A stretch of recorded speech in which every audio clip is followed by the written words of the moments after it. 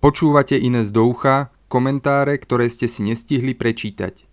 Komentár s názvom Elektromobilné sny bol zverejnený v denníku N 24. januára 2023. Od mikrofónu vás pozdravuje Radovan Ďurana. Prečo je na Slovensku málo elektromobilov? Pretože sú stále drahé a Slováci relatívne stále chudobní. Tak jednoduché to je. A to elektromobilom štát pomáha na troch frontoch. Zvýhodňuje ich regulovanou cenou elektriny pre domácnosti. Nabíjať elektroauto doma za babku na účet dodávateľov elektriny, respektíve daňových poplatníkov, je zvlášť pri súčasných cenách energií výhodné. Tým druhým frontom sú dotácie na fotovoltiku. Pre vlastníkov väčších striech je vlastná baterka a elektroauto výhodnou kombináciou. Tretím frontom sú rôzne výhody a podpora inštalácie nabíjacích staníc, nech už sú to aktivity municipalít alebo pripravovaná podpora z plánu obnovy. Samostatná forma podpory elektromobilov sú krížové dotácie od samotných výrobcov automobilov. Tí musia splniť regulačný limit emisí celej ich výroby. To znamená buď to umelé znižovanie ceny vlastných elektromobilov na podporu ich predaja, alebo predražovanie spaľovacích aut nakupovaním emisných kreditov. Na druhej strane Vlastníci spaľovacích aut už dnes platia uhlíkovú daň za každý liter paliva. Oficiálne sa táto daň volá spotrebná daň z motorových olejov. Táto daň nielenže má ekonomicky presne taký istý efekt ako uhlíková daň, to znamená výrazne predražuje spaľovacie autá, ale hlavne je jej sadzba vyššia, ako je súčasná cena emisných povoleniek. Vlastníci spaľovacích aut tak za tónu CO2 platia viac, ako elektromobilisti, ktorých auto bolo nabité elektrínou zo slovenskej plynovej elektrárne. I napriek týmto faktorom sa predajom elektromobilov na Slovensku veľmi nedarí. Podľa útvaru hodnoty za peniaze musí byť nízky nárast elektromobilov úplná ekonomická záhada. Vo svojej štúdii Dekarbonizácia slovenskej ekonomiky tvrdia, že vlastníctvo elektroauta sa oplatí už po 4 rokoch prevádzky. Keďže nemáme dôvod predpokladať, že ľudia a firmy by si nechali újsť na zemi ležiaci zisk, zjavne v ich analýze chýbajú náklady a dôvody, ktoré spotrebitelia považujú za podstatné. Môžeme ich rozdeliť do dvoch skupín. Tá prvá je menej významná. Je ňou kombinácia neochoty zmeniť správanie, strach z nových technológií a nízka vyspelosť trhu s nabíjaním. Áno, 5-minútová zastávka na benzín, ktorá nevyžaduje žiadne plánovanie a hľadanie neobsadenej pumpy, je komfort, ktorého sa ľudia neradi vzdávajú. Rovnako pocitu, že do Chorvátska sa dá dôjsť na jednu nádrž aj z dolného Kubína. Nehovoriac o veľkej časti populácie, ktorej sa nechce ešte aj na auto používať telefón a maturovať pred neznámou nabíjačkou, ktorú apku ešte doinštalovať, koľko bude vlastne nabíjanie stáť a hlavne trvať. Kombinácia panelákového bytu a elektroauta je komplikácia, ktorá niekedy nemá riešenie vôbec. Toto sú pôrodné bolesti elektromobility, ktoré prirodzene vyrieši trh a čas. Predbiehanie tohto prirodzeného učiaceho procesu je veľmi drahé a daňovo nespravodlivé. Prípadné dotácie na elektroauta skončia v peňaženkách ľudí s vysoko nadpriemernými príjmami.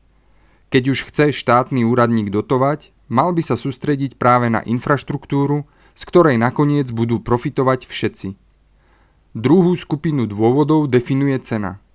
Elektromobily môžu byť dnes finančne výhodné pre tých, ktorí si môžu dovoliť kúpiť auto za viac ako 40 tisíc eur a najazdia veľa kilometrov. Pod výhodnosťou pritom myslím dlhodobý rozpočet celkových nákladov, ktorý zahrňa aj náklady na spotrebu a údržbu. Takúto kalkuláciu si bežná domácnosť ani zďaleka nemôže dovoliť. Vysoká obstarávacia cena je jednoducho pre mnohých neprekonateľnou prekážkou. Aj keď sa človek oprostí od istých špecifík dizajnu a obmedzení najlacnejších elektroaut vyrábaných v Rumunsku, ich cena je dvakrát vyššia ako cena nízkonákladového etalónu z Mladej Boleslavy, respektíve trikrát vyššia ako cena obstojného auta z bazáru, s ktorým sa dá krásne jazdiť ešte 10 rokov. Otázka preto znie, je nízky počet elektroaut problém? Nemyslím si. Najprv ekologické okienko. Slováci majú nižšiu emisnú stopu ako Nóri, Rakúšania, nehovoriac o Nemcoch. Do výstavby nových bezemisných jadrových reaktorov nasypali Slováci cez neinkasované dividendy viac ako miliardu eur. Emisie jednoducho znižujeme inak. Klíme je jedno, či molekula CO2 prišla z auta alebo uholnej elektrárne. Počíta sa celkový objem. Druhé je ekonomické okienko. Hru s názvom Všetci musíme prispieť na zlacnenie technológií sme si už raz zahrali. Pustili sme sa do dotovania solárnych parkov vo veľmi nevhodnom čase. Od roku 2012 sme solárnym parkom zaplatili 2 miliardy eur, respektíve 200 miliónov eur ročne. Výsledok si na emisnej bilancii Slovenska skoro nevšimnete. Ročne je ušetrených 0,2 milióna tón CO2, pričom Slovensko generuje takmer 40 miliónov tón. Výkon týchto parkov je v európskom či svetovom porovnaní tak zanedbateľný, že uvažovať o slovenskom vplyve na zlacňovanie fotovoltiky by bolo skôr smiešné ako užitočné. Kúpna sila mediánového príjmu vyspelých krajín západnej Európy je 2 až 3 krát vyššia ako na Slovensku. Nedáva zmysel, aby nízkopríjmové krajiny financovali začínajúce technológie. Pre slovenské domácnosti je v priemere potrebnejšie investovať do zateplenia či alternatívneho kúrenia ako do elektroaut. K ekonomickej neefektivite dotácií elektromobilov ešte jedno prirovnanie.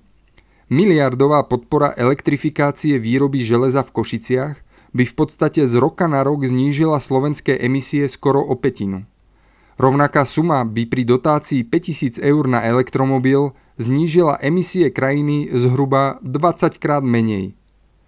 Tak ako pri plazmových obrazovkách či chytrých mobiloch, aj v prípade elektromobilov by mali vyššiu úvodnú cenu zaplatiť spotrebitelia najbohatších ekonomík. Až keď vznikne aký taký trh s ojazdenými elektroautami, až potom sa na rad dostanú domácnosti z krajín, ako je Slovensko. Pevne verím, že rastúci dopyt a trh časom vyriešia súčasný nedostatok surovín na ich výrobu a technologické zlepšenia prinesú zaujímavé ponuky aj v segmente malých lacných aut. Urýchliť tento proces sa ale slovenskými dotáciami nedá, boli by to len drahé politické gestá.